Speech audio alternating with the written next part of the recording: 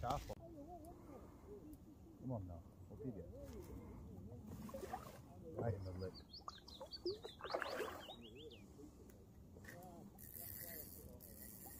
This carp is full of energy.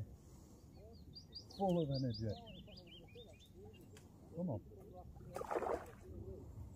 Beautiful fish as well, actually. You are a feisty little mirror. Very fast in there, but now you've done, you, lad? There you go. Oh, beautiful little fish. Beautiful.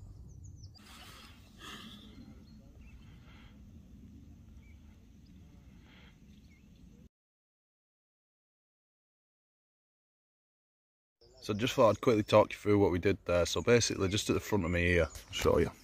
Down here we got some weeds and I saw a carp come up. It was just eating some. We're off again. Oh whoa on on video. I can't believe that's just happened. It come off, it come off, I'm wounded. So yeah, there were carp down here. So what I did was I thought obviously the carp are feeding a little bit higher up and I'm here to target some carp. So I decided to change my rig slightly, throw a pop-up on and since then I've had that fish that we've obviously you've just seen. Um, I've just lost another one and I've had another bite. So I'm quite hopeful we should get a couple of fish out of here today. Let's see.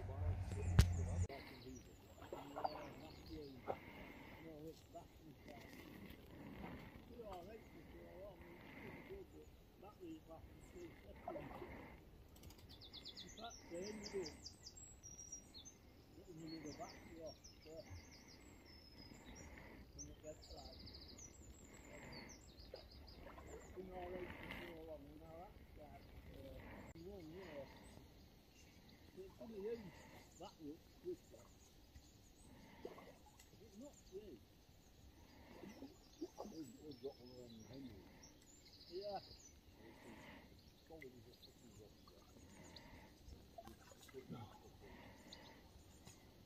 Carp as well. It's probably about eight, nine pounds.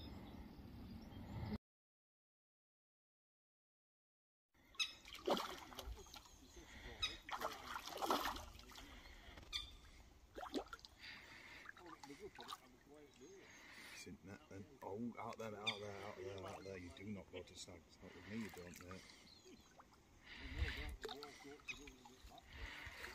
I can it